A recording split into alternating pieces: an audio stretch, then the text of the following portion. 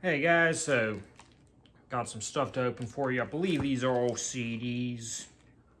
Just going by the outside packaging, they're packed pretty well because I believe it's only about three CDs total. But they're all really thick packages, so kind of expecting hell of a lot of pa uh, padding in here. So let's get into it.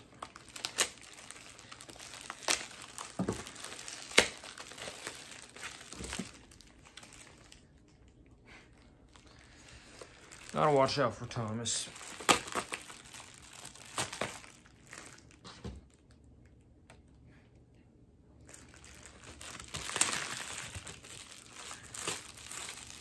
So only one of these I had a tracking for, so starting off with, you know, what I know. One is,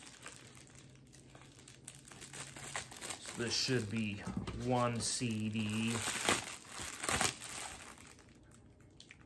I may have messed up and accidentally opened the one that two CDs, but or they may have just thrown in an extra CD. That's what it looks like. So just, yeah, says enjoy this free gift. So yeah, this person throwing a uh, extra CD, but we have. Uh, Queens of the Stone Age, uh, Songs for the Deaf. As you'll see, I have another Queens of the Stone Age CD soon. But yeah, I've uh, just been kind of enjoying some Queens of the Stone Age lately.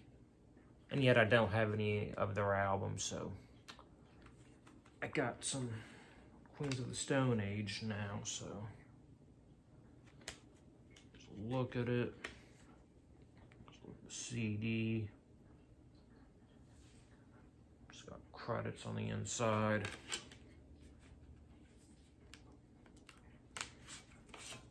And the booklet, or more of a poster really, but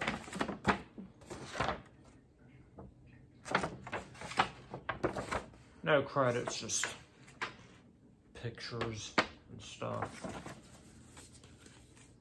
art's cool, but I like to have lyrics too, you know.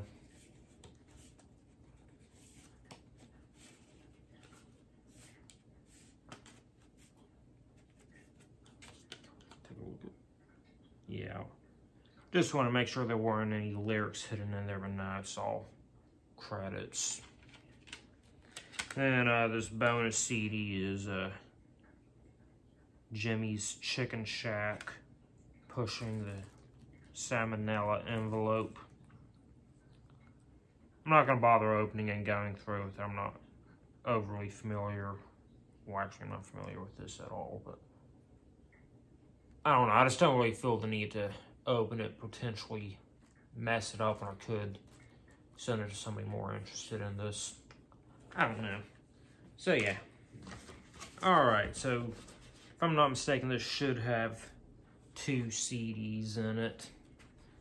I sent a nice big cardboard box that could probably fit a 7-inch vinyl if I needed to ship any of those out. I don't, but, you know, just to give you an idea of the size of it.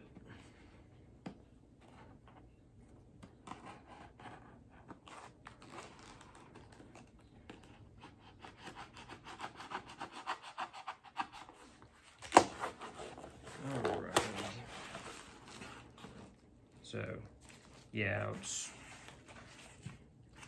bubble wrapped. Looks like this has some sort of bonus CD in there too.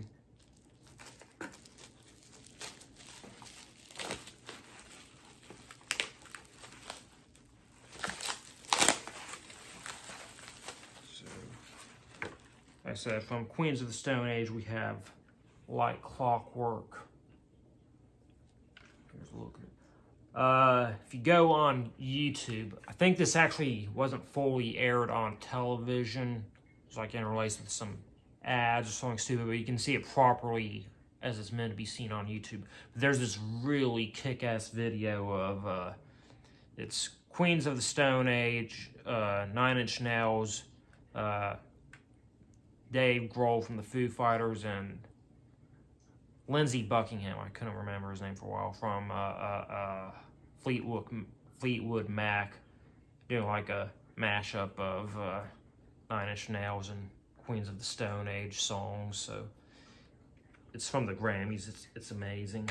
But yeah, here's the inside of it. Look at the disc. Once again, we have a bunch of credits on both the behind the disc and on the back of this card. Looks like it actually has pretty much the exact same thing on little insert and on the back here, so that's kind of funny. Uh, but yeah, there's no extra artwork, so that's all that there really is to it. Uh, and then uh, this was just something else that was uh, available in the store and uh, wasn't necessarily something that I was really uh, wanting to get. I mean, I kind of wanted to get it, but like I wasn't in a rush to get it. Since it was there, I figured might as well pick it up. But uh, from Smashing Pumpkins, we have Siamese Daydream. I believe this was their debut album. Uh, I have uh, Mellon Collie and the Infinite Sadness. It's a fantastic album. One of my go-to long road trip albums because it's a double album disc in the back of it.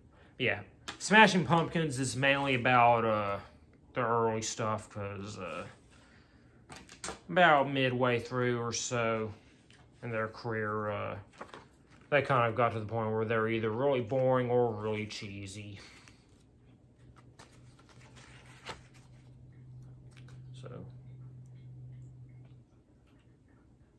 assuming that's some lyrics in there. I believe I've heard this album before at one point, but it's been a while.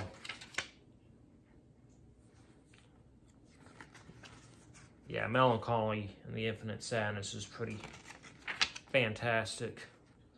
Yeah, finally got their other uh, main album that everybody loves. Uh, and then the seller threw in some burn CDs, kind of funny, handwritten track list and stuff. Uh, so this first one I will definitely uh, be listening to. Uh, we have uh, David Bowie live Nassau Coliseum 76. So some personal favorite songs that we got on here include uh, Suffragette City, Fame, Life on Mars, Five Years, Ch Ch Ch Changes, Diamond Dogs, Rebel Rebel. A lot of great stuff. It looks like it's a two disc, so that's pretty cool. Yeah, I'll actually give that one a listen to because I love David Bowie. Uh, then uh, next, uh, this is so we got Dropkick Murphys 11 short stories of pain and glory. I'll probably listen to this too. Actually, I, have listened to Dropkick Murphys sparingly. Uh, I like them. I, I just haven't listened to them a lot, so actually probably will listen to this one. Yeah, got a pretty generous uh, shitload of uh, extras today, so uh, that's always fun. Uh, yeah, I I should have a book coming in. I think I'll open for you. Let you check that out. Uh, I mean, yeah, I have my regular scheduled videos for my vinyl series. Getting pretty close to the end on that, I believe. Thomas is back. yeah, uh, not really sure what else I should be having coming particularly soon. Might have some concert footage in early December. That'll be fun. Yeah, I'll uh, see you whenever I do my next video.